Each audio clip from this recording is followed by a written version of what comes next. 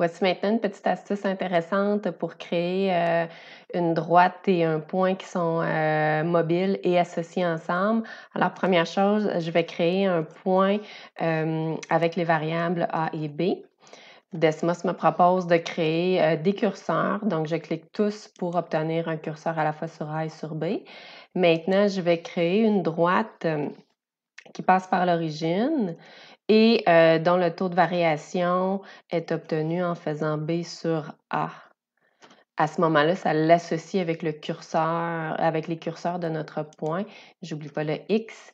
Et euh, à ce moment-là, vous pouvez venir euh, faire le déplacement et on voit, on voit que les, les valeurs, les paramètres A et B s'ajustent en même temps. Alors, voilà pour cette petite astuce.